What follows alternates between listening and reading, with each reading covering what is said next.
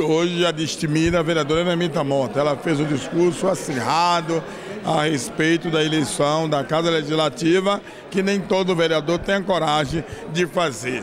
A senhora está revoltada, a senhora está zangada, como aconteceu a eleição da Casa Legislativa, vereadora? Em momento algum, até meu semblante diz que eu fiquei aqui risonho o tempo todo, eu não estou zangada. Eu fiz meu pronunciamento baseado em uma posição que deve ter esse parlamento, que é um poder soberano né, e democrático. Se ele é, é soberano e democrático, não agiu com democracia. Esse foi meu pronunciamento aqui. Tanto não agiu, se você observar, você é um bom, é um excelente repórter. É, o meu colega Marialvo já dizia isso. Você deve perceber, cada vereador externou a sua mágoa dentro de um voto que deu. Ou você não percebeu? Então, se eles mesmos foram para a tribuna e disseram como o processo foi feito, de uma maneira está aqui, daqui a pouco está ali, não foi um processo legal, não foi um processo como deve ser a real democracia. É, vereadora, a senhora fez um discurso duro, onde diz que o atual presidente está aqui para servir o executivo, o prefeito José Ronaldo. Eu disse que ele deve. Esse nome dele foi. Ele entrou por goela abaixo. Porque, na verdade, se você analisar, quem agregou mais entre eles dois foi o Marcos Lima. Marco Lima teve mais votos do que ele. Mas Marco Lima foi frouxo, desistiu. Pronto, pronto. Ele aí, eles aí resolveram a se juntar. Enquanto eles estavam um agregando mais, outro agregando menos, o grupo de Tom, que depois migrou para Beto Torinho, já estava com 10, só precisava de um. Então, se fosse realmente é, acompanhar o processo democrático, o vereador Tom, desde o primeiro, seria o vereador. Segundo lugar. Seria o presidente. O presidente. É, desculpe. O segundo, quando o vereador Tom viu que o nome dele estava rejeitado, tanto por vereadores quanto até pelo executivo, que ele mesmo falou aqui, não são palavras minhas, estou repetindo a dele. Quando ele viu que o nome dele estava rejeitado, ele queria ganhar aquela chapa, e qualquer um queria, faz parte do jogo. Se ele estava num jogo que ele tinha 10, só faltava um, ele diz: Beto, você foi secretário do prefeito, você defendeu o prefeito aqui, você trabalhou o prefeito na época de Tarcísio, até isso foi lembrado. Então, acho que não vai ter nenhuma objeção do, do, do, do nome, do seu nome com o prefeito. Vamos colocar seu nome? Vamos. Todos 10, não, nenhum arredou para outro lugar. Eu fiquei feliz. Né? Eu ia votar no Tom pela, por, por, ele ter feito a reunião primeira. A primária a reunião foi dele. A segunda de Torinho, já que todos aceitaram, permaneci. E eu vou te dizer mais uma coisa aqui em primeira mão. Se nós quiséssemos colocar Marcos Lima ou qualquer outro para fazer parte dessa chapa, nós tínhamos ganhado a eleição no outro dia. Tínhamos ganhado a eleição porque houve várias pessoas dizendo: me bote lá como presidente que eu vou.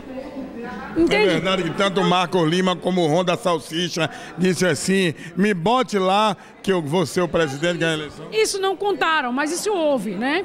Eu tenho os 10 de prova que nós tivemos contatos e que isso podia acontecer.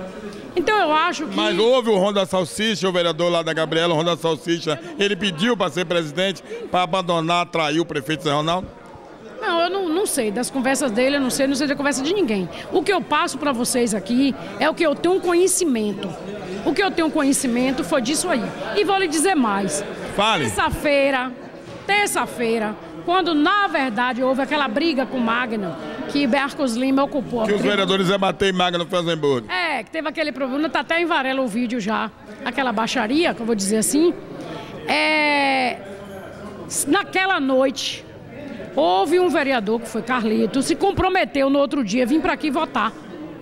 Mas na madrugada, no amanhecer do dia, foram lá, ele e mais dois, três vereadores, para dizer a Zé Ronaldo que tinham desistido do voto.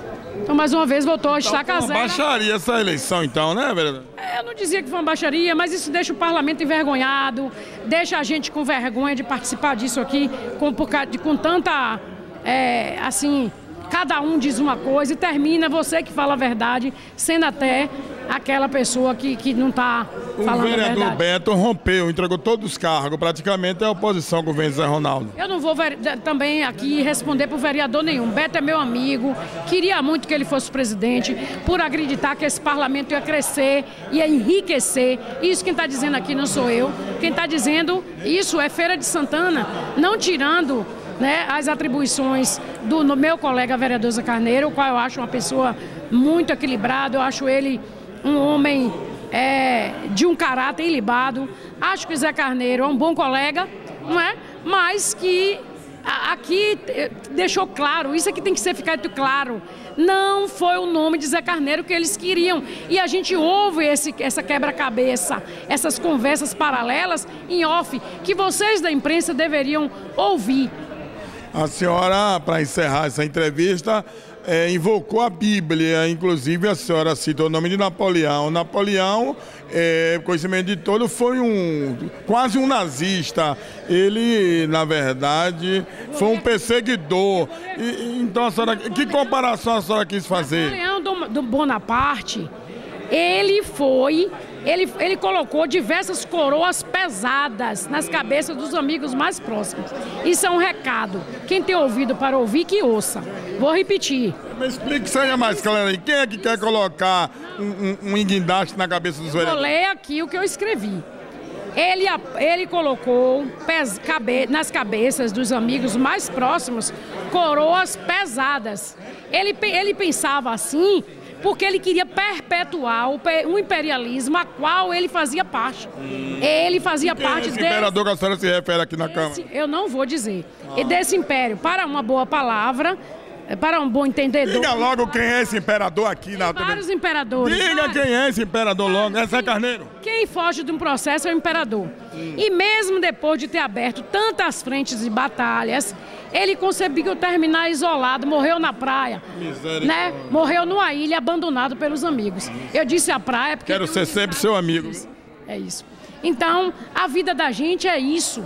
Às vezes a gente quer é, criar situações. Eu me lembro, eu me lembro aqui, eu vou lembrar só no seu, na sua entrevista aqui. Eu me lembro muito bem, o ex-vereador Madeira, que era o ex meu marido, nós estávamos numa entrevista com a CM em Salvador. E o ex-governador ex ACM disse: olha, vereadores, vocês aqui presentes, nada tira o, o, nada tira a possibilidade nenhuma do meu filho, Luiz Eduardo Magalhães, ser o governador da Bahia. Ele saiu para andar e morreu.